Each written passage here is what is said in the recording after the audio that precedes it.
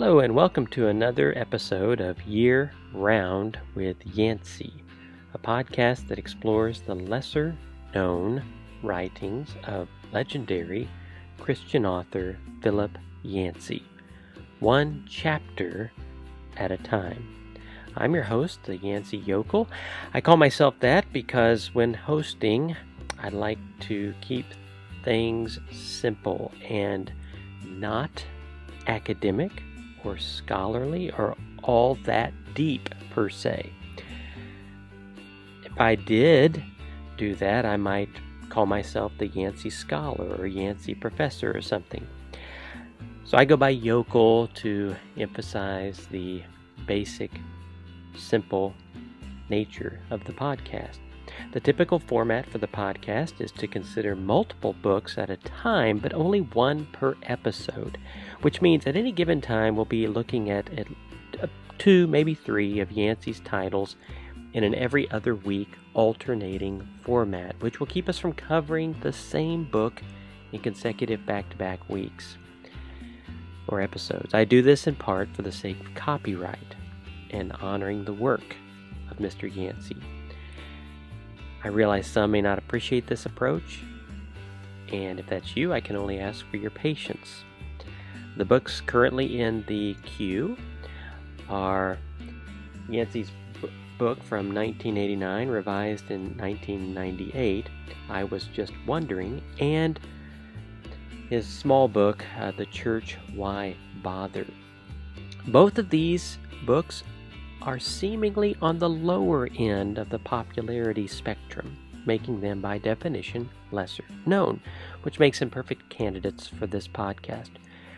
Because the lower M goal, main goal of this podcast, is to give attention to Yancey's works that you may be largely unfamiliar with. And that leaves the capital M main goal, which is giving attention to the God Yancey writes about, and of course to his Son, Jesus, his Spirit, and his Word, the ultimate goals of this podcast. The chapters, plural, we're considering this week are uh, chapters 5, 6, 7, and 8. I'm sorry, 4, 5, 6, and 7 from Yancey's book, I Was Just Wondering. Uh, I do attempt to focus on only a chapter's length portion of a book whenever we have a new episode. And if you've seen this book, you know that the chapters are very brief, and that's in part because every single chapter had a life uh, outside of this book prior to this book, and that was in the form of short articles uh, that appeared in Christianity Today between the years 1983 and 1989. So all of these works are previously published, although there's some slight tweaking and revision uh, going on with these chapters, but they're also small. And the last time we looked at this book, we looked at three chapters because I, I, felt that that was about right for a 30 40 minute episode. I'm squeezing in four this time because I want to finish out part one of this book. And part one is called The Human Animal. And so the common thread for all of these chapters is uh, either animals or humans, but in when dealing with the human in this part of the book, Yancey does some comparing, contrasting between uh, us and animals, comparing us to animals, and how are we similar to them, but yet he doesn't want us to forget how different we are. And of course, that seems to be a godly part of what makes us who we are. We are going to be looking at, as I mentioned, uh, four articles, and as we look at each one, I'll remind everyone where the articles first appeared.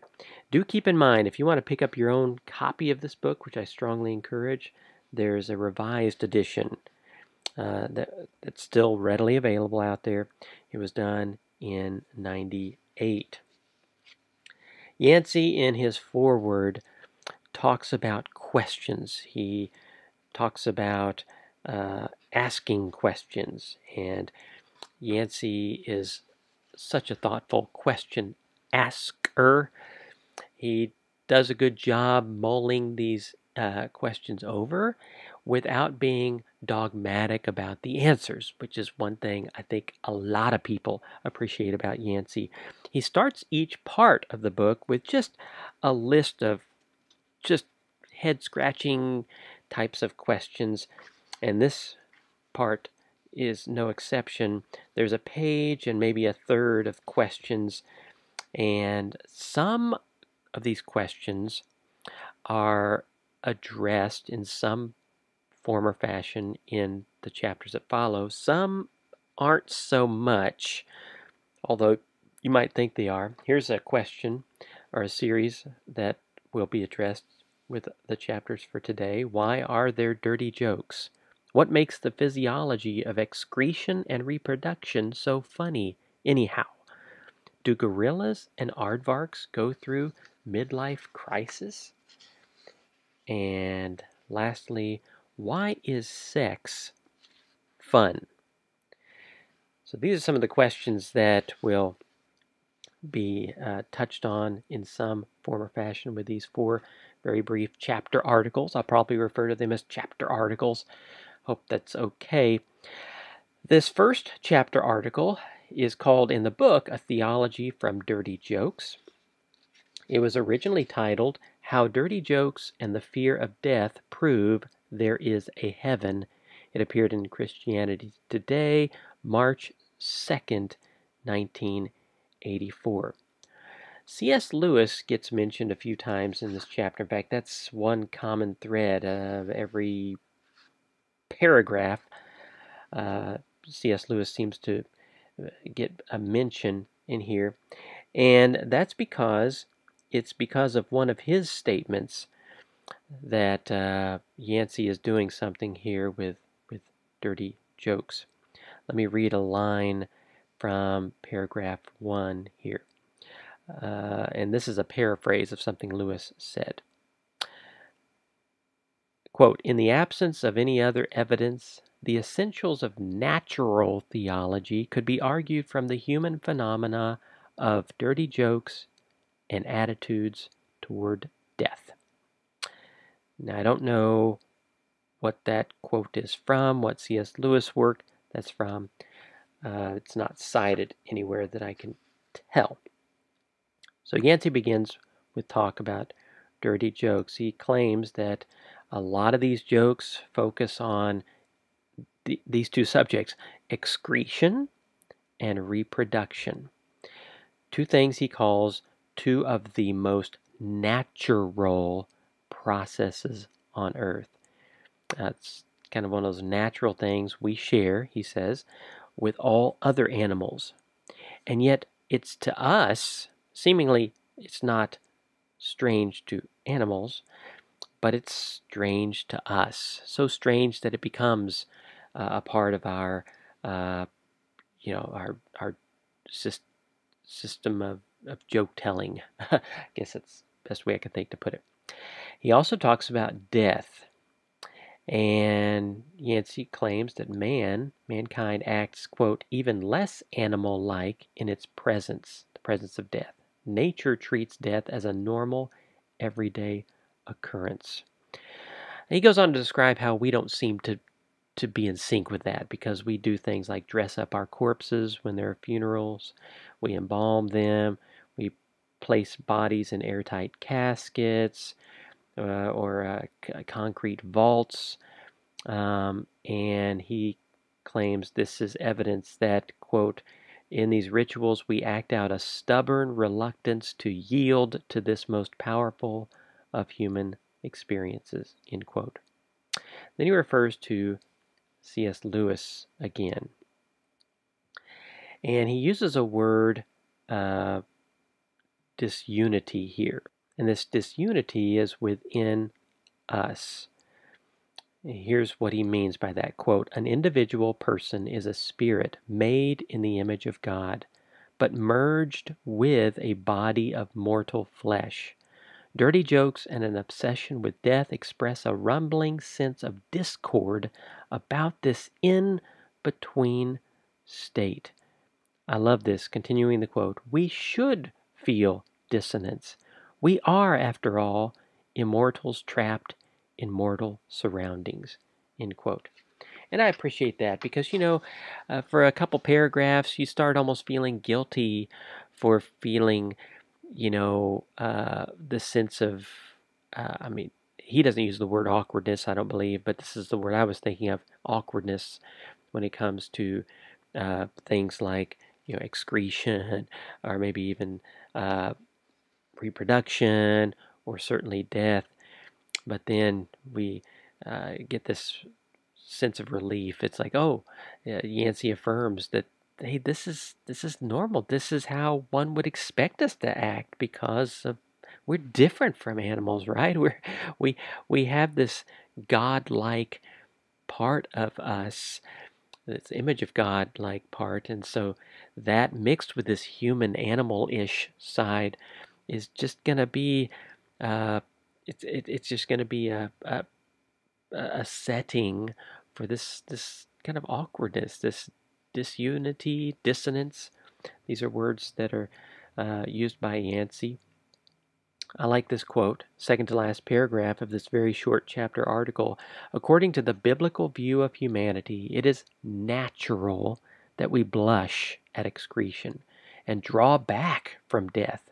Such actions seem odd because they are odd. In all of earth, there are no exact parallels of spirit and immortality housed in matter. End quote. And I don't think there's a better chapter article in this section that's devoted to the human animal because uh, even though uh, this this chapter is very brief not a lot of meat to sink your teeth into per se. It's it's right in the middle of the the, the part, you know, the chapter. Uh, I'm sorry, the section, human animal. Three chapter articles before, three chapter articles after. It's right in the middle. I don't know if that was deliberate or not, but it's just the perfect human animal uh, glimpse. It's just a glimpse. so quick. Uh, but this this this weird aspect of our nature, you know, we we we, we don't treat reproduction, excretion, death like animals. It's because that's only a part of us. We're so unanimal like at the same time. Just uh, something to, to, to mull over. Like I said, in, in keeping with these questions Yancey likes to ask, just just just think about it. You know, Let, let's just mull mull over it for a few minutes and move on. Let's move on to the next chapter article. It's called High School Reunion in the book, it was originally titled The Human Animal at a High School Reunion. It appeared in Christianity Today, November 7th, 1986. Uh, I want to read the first sentence or two and then ask, well, just share with you the question I first thought of when I read these uh, lines. Quote, if I were a die-hard evolutionist seeking to discredit the Christian doctrine of man, I think I would spend my time not digging for bones in Dr. Leakey's Africa, but rather roaming the halls of America's high schools. End quote. Just want to stop there. I just couldn't help but ask questions uh, like, wh- where's Yancey going with this?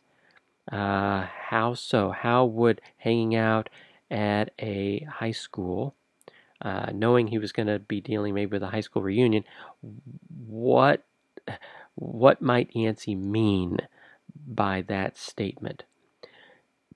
And then he uses in the next sentence a word I was not familiar with. I had to look it up. You know, um, I'm going to read the sentence and then share with you the definition in case you're like me and aren't familiar with it. The, the sentence reads as follows They, these American high schools, that's what he's talking about. They offer science a showcase for the human animal at its most atavistic. That's A T A V I S T I C, atavistic. According to Webster's, atavism is a recurrence in an organism of a trait or character typical of an ancestral form. Ancestral, I think, is a key term there. Ancestral form, and usually due to genetic recombination. it's one of those definitions I feel like I needs even further unpacking. Um, atavism derives via French from Latin atavus, meaning ancestor. Anyway, for what it's worth. He goes on to talk about uh, some of the typical, you know, stereotypical categories of groups, uh, tribes, so to speak, in a high school setting, like jocks. He talks about jocks. He talks about cheerleader types. He talks about nerds. He talks about hoods, or that's what he called them back when I guess when he was young, greasers. Um, and he uh, is is obviously he's making these references to what these types would look like at a high school reunion. You know, 20 years later, you know the jocks still look like jocks in many respects. Cheerleaders still still look like you know beauty queens for the most part. Nerds have put everybody to shame with their their their jobs you know they've excelled in uh, things like science perhaps computer programming etc um, uh, and hoods i forget what he says about them except like the others they they haven't changed all that much Anyway, he does uh, in this first little section of the chapter article mentioning a, an incident that happened when he was in high school. Uh, it was a fight, a major fight, uh, that broke out between a jock, a high school quarterback, and one of the hoods or greaser types. And it was a fight over a girl. And he was using that example to highlight how, you know, uh, animal like that kind of behavior is. You know, there's two guys trying to beat each other up for the sake of a woman. Um, you know, we, we see signs of that in the animal world, do we not? And he, uses that as a springboard to talk about how a behaviorist might uh, consider that uh, behavior being very animalistic. But Yancey doesn't stay there. He has a, a, quote he shares from uh, G.K. Chesterton and then Dostoevsky. But uh, before he gets to th- those quotes, he makes this statement But there is another side to the human animal. And aren't we glad there is? you know, something that the behaviorist uh, couldn't you know chalk up to animal uh, behavior. And so uh, I think to get at what Yancey's uh, getting at I need to read a few quotes here uh, including this one reflection on uh, a quote from Dostoevsky he, Yancey writes he was Dostoevsky was expressing the most basic fact of Christian anthropology that the human animal was created to be more than animal. He talks about how we have the ability to transcend biological destiny and prove that we are more than animals. Um, he does go back to an earlier sentiment in the chapter by uh, commenting that, you know, how we we have a, this drive within us towards self preservation, survival of the fittest. Uh, we compete like the animals on the basis of power and physical appearance. Um, and we place a lot of emphasis on our impressive physiques, which could be viewed as very animalistic. But, there's a big but here again, and the rest of the chapter article uh, is more in keeping with this but here. Uh, But our Christian calling, Yancey writes, asks us to defy those instincts. And then here's a the first reference to Jesus here in the chapter. Jesus announced, quote, a great reversal of values in his Sermon on the Mount, elevating not the rich or but rather the poor, the persecuted, and those who mourn. Instead of lauding such traits as wealth, political power, and physical beauty, he warned against their dangers. A passage like Luke 18 shows the kind of people who impressed Jesus an oppressed widow, a despairing tax collector, a small child, a blind beggar. One more line to read here. Instinctually, animals mark the weak. Yancey writes in parentheses, question mark, the nerds? For quick destruction, we are commanded to value them. I don't have anything to add to that. I do want to read another few lines at the very end of this chapter article, uh, which uh, builds on that, and then we'll move on to our next chapter article. Yancey writes, quote, Our failure, failure to convince many scientists of the uniqueness of humankind made in the image of God makes me wonder about trying a different tack entirely. What if, instead of trying to prove that Homo sapiens is not an animal, we sought to prove that we are far more? Instead of challenging the antiquity of fossils or disputing the results of genetic engineering, we could simply demonstrate that biology is not destiny. I love that. He goes on to mention the fruit of the Spirit and how they don't give, in society, in human society, they don't give awards, especially in high school, for the, the the, fruit of the Spirit, like the most patient, the most kind, good, faithful, etc. But that is what we aspire to, is it not? Especially those of us who follow after God. Yancey ends this chapter with this line. I love it. And perhaps, just perhaps, exhibiting the fruit of the Spirit may be our very best defense against a materialist view of mankind here on earth. End quote. The next chapter, the second to last in this first part, is called in the book The New Determinism. And you wouldn't know from that, that title that this chapter has a lot to do with midlife crises.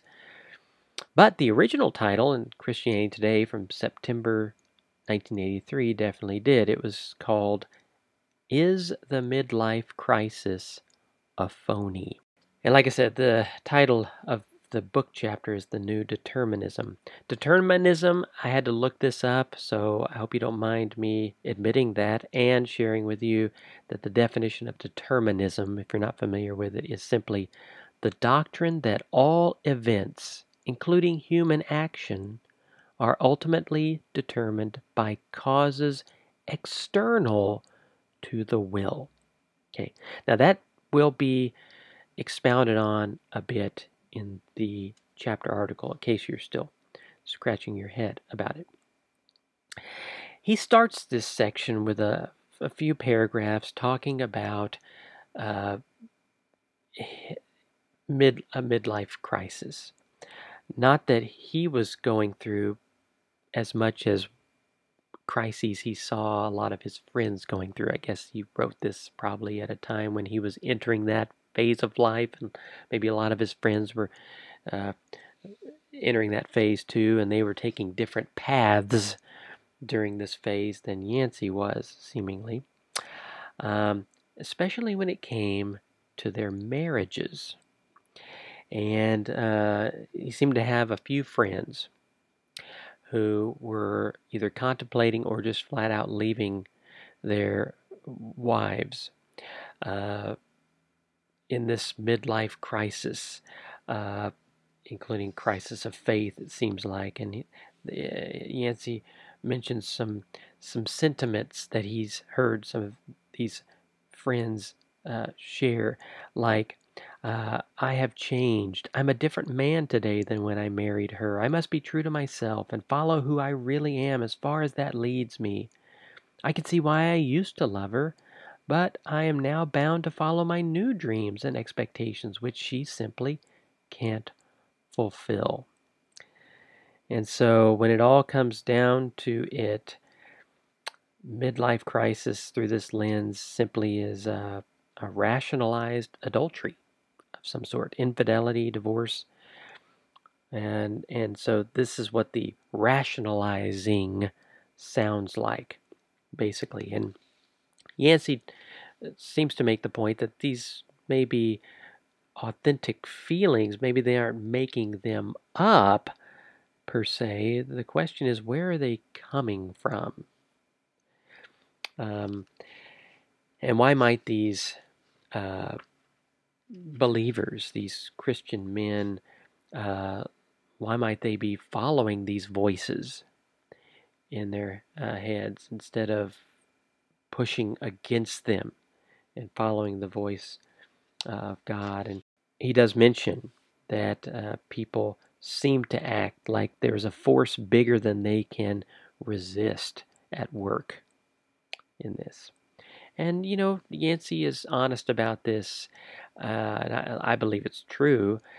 Uh, but uh, there, there's just there's just so many factors built into the, these forces that are being described, including good old-fashioned, I would say, animalistic, even lust, um, because you know, uh, as as we all know, that's just a part of our nature, uh, like it or not.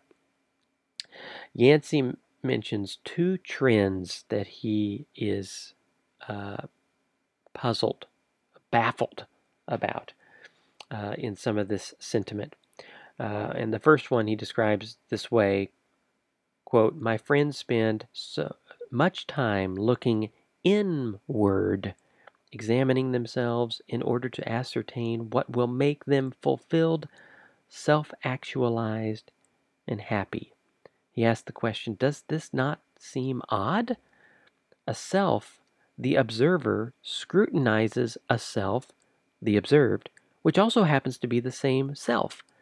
How can I observe myself to find out what I really want if I, the observer, am the very one who is wanting it? I just had to underline that, put exclamations in the margin and a big smiley face there because if you stop and think about it. It is truly ridiculous. Um, he mentions um, all sorts of great questions here. He asks Can a person who is actively lusting objectively examine himself and decide the future direction of his life without being affected by the lust itself? He says, That seems to me like asking an alcoholic to rationally assess his need for alcohol at a New Year's Eve party. End quote. Sounds interesting. He mentions a verse from Jeremiah 17 9, and here's the quote concerning it.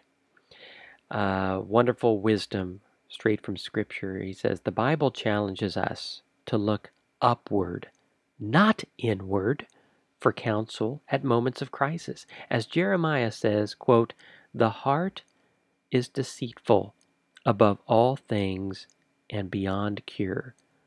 Who can understand it? End quote. And that is from Jeremiah 17:9 if you'd like to look it up.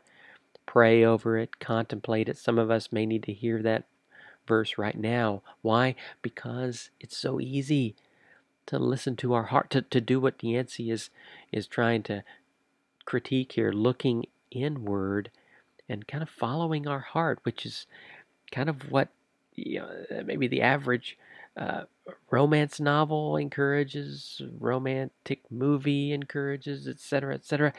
That's what people do. It's just the norm, it seems, in our world. But how dangerous that is to just look in inward at our heart and just kind of let it call the shots, which is what uh, seems like people uh, to to Yancey's point, a, a, high percentage maybe in this midlife uh, phase of life are uh, are falling uh, prey to. The second trend, he says, uh, he's baffled by uh, is this quote: Once the observing self learns what will make him happy, fulfilled, and actualized, a kind of determinism switches on. The husband feels bound, now that's a key term here, bound to follow the inner voice, assuring him that Miss B, capital B, is the solution to his life, not time worn Mrs. A, that's capital A. He says this determinism is a force of the highest order and often proves more powerful than paternal instincts and marriage vows to state and God. End quote. He then goes on to provide a quote from Dorothy Sayers from uh, a book he describes as an obscure book written during World War II called a Begin Here. I have to be honest and say I didn't, I had trouble connecting her quote with what Yancey was talking about. So I'm going to skip it and read what Yancey says about her quote, if that's okay. Here's Yancey's quote Sayers goes on to describe the difference between murdering one's mother in law and writing a detective story about such a murder. Both acts may spring from the same unconscious impulse, she says, so that each activity begins with the same raw material. But the difference lies precisely in how the unconscious impulse is acted upon. And this is Yancey's way of saying, you know, just because you feel this and your heart is leading you this way, there there's more than one way to deal with that. There's more than one way to respond to that. Uh, and I guess I, I feel like Yancey's trying to empower the readers to know that, hey, just because you feel that this is the only path, it is not, and you do not have to take it, even though you're feeling compelled to in a deterministic way. He ends this chapter article this way. He says, Maybe it's time for an equally strong emphasis on the human freedom that allows us sometimes to go against that subconscious for the sake of fidelity. Of course, a key term there is fidelity. We can do it, you guys. We can do it. We can be faithful, uh, even when our heart is leading us uh, in another direction. And it, why? Because there's that freedom we enjoy. Isn't that a wonderful part of being human? That we have the freedom to make those decisions, those faithful decisions. Let's move on to the last chapter article from this part the human animal. Let's remember this is the thread here, the human animal thread holds all these chapter articles together. The uh, title of this chapter article is The Problem of Pleasure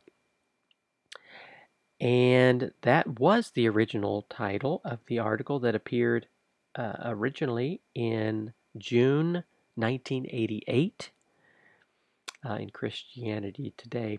By the way, I don't know if I mentioned this the last time we looked at this book, but I think one of the reasons I'm enjoying it so much is because if I'm not mistaken, this is the way I discovered Yancey. Uh, earlier, I I didn't I hadn't read some of his big time books, you know, Jesus I Never Knew, uh, What's So Amazing About Grace, and all of that, even though they were around when I first discovered Yancey. I remember discovering him in my work in a library, as a theological library.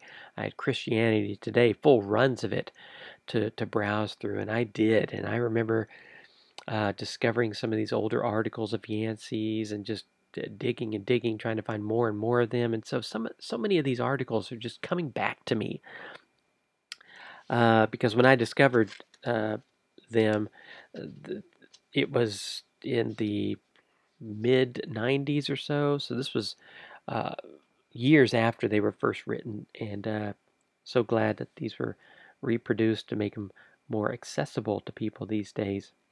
But anyway, the title again is The Problem of Pleasure. So that immediately evokes a question What problem? What's the problem? I didn't think there was a problem with pleasure. At least I never thought about it before. So, what is the problem? And so, here's how Yancey explains it. He asks three questions rapid fire fashion at the beginning of this chapter article. Why is sex fun? And the assumption is that it does, and that question is, it doesn't have to be fun, does it? I mean, just to, to procreate, to have kids, does it have to be fun? And yet it is. Uh, why is eating fun? Why are there colors? You know, again, the assumption uh, there doesn't have to be colors, really. We could live in a world of black and white, or just white, or just black, whatever. But we have all these colors. These are questions Yancey throws out, all in the uh, realm of pleasure, right? Sex pleasurable, eating pleasurable, we enjoy colors, pleasurable. Listen to this. Yancey writes, quote, It struck me the other day after I had read my umpteenth book on the problem of pain, the theological obsession of this century, it seems, that I have never even seen a book on the problem of pleasure. Nor have I met a philosopher who goes around shaking his head in perplexity over the basic question of why we experience pleasure. I've got to read these next lines. Sorry for the extended quote. Where did pleasure come from? That seems to me a huge question, the philosophical equivalent for atheists to the problem of pain for Christians. On the issue of pleasure, Christians can breathe a little easier. A good and loving God would naturally want his creatures to experience delight, joy, and personal fulfillment. We Christians start from the assumption and then from that assumption and then look for ways to explain the origin of suffering. But don't atheists and secular humanists have an equal obligation to explain the origin of pleasure in a world of randomness and meaninglessness? Question mark. End quote. Don't you love the way Yancey states that? And you know, maybe there are other people asking questions like this. Uh, I just remember when I, especially when I first read this years ago, I hadn't thought about it. I, uh, I'm, I'm, yes, I'm guilty of not either uh, considering it or reading people who are considering that question. But uh, yeah, isn't it uh, uh, thought provoking? Isn't it uh, in- encouraging, even for those of us who have no doubts about the existence of God and being created by Him in a very special way, etc., etc.? It's just kind of one of those extra things uh, that we that is staring at us in the face, you know, every time we eat a hamburger and we're loving it. Why does it have to be so pleasurable? I mean, things like that, and uh, and as Yancey mentions, you know, maybe the atheists aren't the ones that have the problem, uh, uh, aren't aren't deal- grappling with questions like, uh, why is the, pain in the world? Um, that's something that people of faith seem to be grappling with because it just doesn't add up with this loving God who could do anything, etc., etc. But what about the pleasure part? Why why aren't people uh, like atheists who claim that you know after the Big Bang everything just sort of fell into place in a sort of random, very uh, very lucky way, but I mean still random, and yet we have all this pleasure surrounding us. Hmm, isn't that interesting? Uh, there's a, another quote or two from uh, G.K. Chesterton here, specifically his book uh, from his book Orthodoxy. Uh, Yancey writes G.K. Chesterton traced his own Christian conversion to the problem of pleasure. I didn't know about that till I read this. I think that's interesting. I've never read Orthodoxy. He says uh, Chesterton found, quote, materialism too thin to account for the sense of wonder and delight that sometimes marks our response to the world, and especially to such simple human acts as sex and childbirth and artistic creation. Then there's an extended quote from Chesterton's work. Uh, again, I'd like to skip the quote and share a quote from Yancey in response to that quote. Yancey writes In a single sweep, Chesterton has helped clarify the problem of pleasure. For the unbeliever, the problem centers in the question of origin. Where did pleasure come from? Chesterton searched all alternatives and settled on Christianity as the only reasonable explanation for the existence of pleasure in the world. Love that quote. He ends the chapter by referring to, uh, I, I should say, he starts the end of the chapter by referring to Ecclesiastes. I love this. He says, It occurs to me that perhaps I have read a book on the problem of pleasure, the biblical book of Ecclesiastes. That story of decadence by the richest, wisest, and most talented person in the world serves as a perfect allegory for what can happen when we lose sight of the giver whose good gifts we enjoy. Now, I like how uh, Yancey transitions uh, a bit and, and deals with kind of a different aspect of the problem of pleasure. When we over focus on it, we seek it out too much, um, going past what God seems to have envisioned for us. And yet I felt like it was a little off topic. You know, um, it, it's interesting, but it could have warranted a, a its own chapter article in a way. Uh, here's what I mean. He says, Thus, pleas- pleasure is at once a great good and a grave danger. If we start chasing pleasure as an end in itself, along the way we may lose sight of the one who gave us such good gifts as sexual drive, taste buds, and the capacity to appreciate beauty. Now, one thing I do appreciate about this is um, Yancey wants our focus to be Godward. He wants our focus at every turn to to be uh, heavenward, uh, focused on the God who who is worthy of praise for the for the for the careful way He has crafted us, which does involve, of course, the pleasure aspect as well. Let's end with this quote, second to last paragraph from this chapter article and this whole first part. Quote, somehow Christians have gotten a reputation as anti pleasure. And this despite the fact that they believe pleasure was an invention of the Creator Himself. We Christians have a choice. We can present ourselves as uptight bores who sacrificially forfeit half the fun of life by limiting our indulgence in sex, food, and other sensual pleasures, or we can set about enjoying pleasure to the fullest, which means enjoying it in the way the Creator, capital C, intended. End quote. I love that. That's just the perfect summation of the two sides of the pleasure coin Yancey deals with in this chapter. And that brings us to the end of part one of this wonderful book filled with so many great questions and just some considerations of possible uh, answers. And we'll return, Lord willing, to this book in a couple of episodes. Uh, the plan is to look at the church Why Bother again, chapter 2 from that very short book. Remember, it only has three chapters, so we'll be through with it uh, very soon. Don't forget that there's a new, brand new book out uh, this month, October 2021. Uh, Yancey's latest. It's his memoir, Where the Light Fell, a memoir is what it's called. A 320 page book published by Convergent Books. I have had my copy for a week and a half now about through the first tenth of the book.